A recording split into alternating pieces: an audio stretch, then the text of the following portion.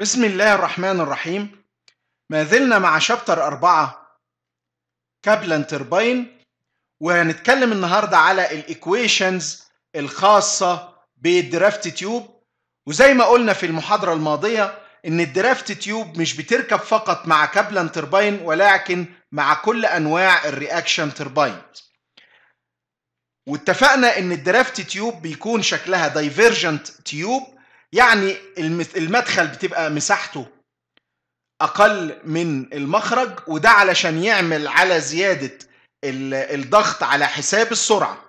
علشان نقدر نجيب المعادلات الخاصة بال draft tube ونعرف هو قد, إيه أو الوفر اللي عملها لي ال draft tube من ال head هنسمي بعض النقاط. فمثلا مدخل ال draft tube هنسميه نقطة اتنين اللي هو مخرج التربينة. مخرج ال draft tube هنسميه نقطة 3 اللي هي هيبقى المخرج النهائي لل draft tube وسطح المية ال outer surface بتاع ال water اللي هو معرض لل atmosphere هنسميه نقطة zero أو O. تعالى برضو نسمي الارتفاع بتاع ال draft tube ارتفاع ال draft tube عن سطح المية هنسميه ال Hs والجزء المغمور تحت المية تعال نسميه L. لو أنا حبيت أعرف مقدار الانخفاض اللي حصل في السرعة أو مقدار الزيادة اللي حصلت في الضغط خلال المرور في ال draft tube فهطبق Bernoulli equation بين نقطتين اللي هي نقطة 2 ونقطة 3 فهتبقى المعادلة بالشكل الآتي P 2 على rho g زائد V 2 square على 2 g زائد Z 2 هيساوي P 3 على rho g زائد V 3 square على 2 g زائد Z 3 زائد طبعا الفقد اللي هيحصل خلال مرور المائع في ال draft tube لو إحنا فرضنا إن ال datum اللي إحنا هنقيس منه أو المستوى اللي إحنا هنقيس منه عند نقطة 3 يبقى في الحالة دي Z 3 ممكن أحطها بصفر و Z 2 يمكن استبدالها ب S plus L في هذه الحالة ممكن أعيد كتابة المعادلة بإن P 2 على rho g اللي هو الضغط عند مخرج التربينة والناتج من وجود ال draft tube هيساوي P 3 على rho g زائد V 3 square ناقص V 2 square خدنا ال V 2 بإشارة مخالفة على 2 g ناقص S ناقص L طبعا زائد ال H losses ال term اللي موجود من الأول. دلوقتي أنا عايز أعرف قيمة الضغط عند نقطة 3 عشان أعوض بيه في هذه المعادلة. لو إحنا بصينا على سطح المية أو ارتفاع سطح المية عن نقطة 3 اللي هو المسافة ال يبقى مقدار الضغط الناتج عن عن عمود المية اللي هو ال هو مقدار الضغط عند نقطة 3 يعني أنا لو كتبت P 3 هتساوي ال pressure عند نقطة ال O اللي هي ال atmosphere pressure زائد rho في g في المسافة أو الارتفاع المية عن نقطة 3 اللي هو ال ممكن نعيد كتابة المعادلة دي بإن إحنا نقسم على الجي الرو في الجي يبقى ممكن أكتب P 3 على rho في g هتساوي P atmosphere على rho في g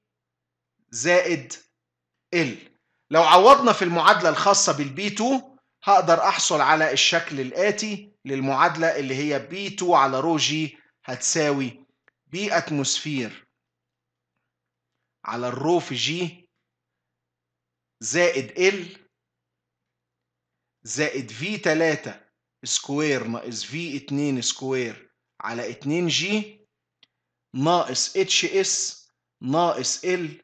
زائد ال H losses يبقى لو نبص للمعادلة دي ممكن ال تروح مع بعضها وكذلك ممكن لو ال V2 إحنا عارفين إن هي هتبقى أكبر من V3 يبقى ممكن أكتب المعادلة دي بشكل نهائي إن P2 على rho g هتساوي ال P atmosphere على rho في g minus ونفتح قوس كبير هنحط V2 square ناقص V 3 square على 2 g plus ال H S minus ال H losses طب هنفهم إيه من هذه المعادلة؟ هنفهم إن ال pressure عند نقطة 2 يقل عن ال atmospheric pressure بهذا المقدار بمقدار هذا القوس.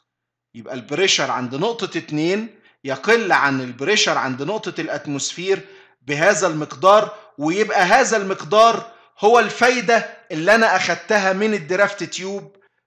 وقعدت لي جزء من الطاقة في صورة head طيب هل نقدر نحسب في هذه الحالة كفاءة ال draft tube؟ طيب الكفاءة بتساوي المستفاد من من الشيء اللي عندي على المدفوع أنا إيه ال head اللي أنا استفدته من ال draft tube؟ ال head المستفاد من ال draft tube هو المقدار اللي جوه القوس ده. طب وال head اللي المدفوع أو ال power أو ال head اللي كان داخل ال draft tube هو ال kinetic energy اللي كان داخل بيها المائع عند نقطة 2 يبقى أنا لو حبيت أحسب ال draft tube efficiency هحط البسط V2 square ناقص V3 square على 2 g plus ال HS minus ال H losses اللي بتحصل في ال draft tube مقسوم على ال kinetic energy عند مدخل ال draft tube اللي هو هتبقى نص. طبعا kinetic energy إحنا هنحولها ل head تبقى نص في V square على g أو بمعنى آخر V square على 2 g وال V دي طبعا هتبقى V 2 ويبقى في هذه الحالة أقدر أحسب كفاءة ال draft tube.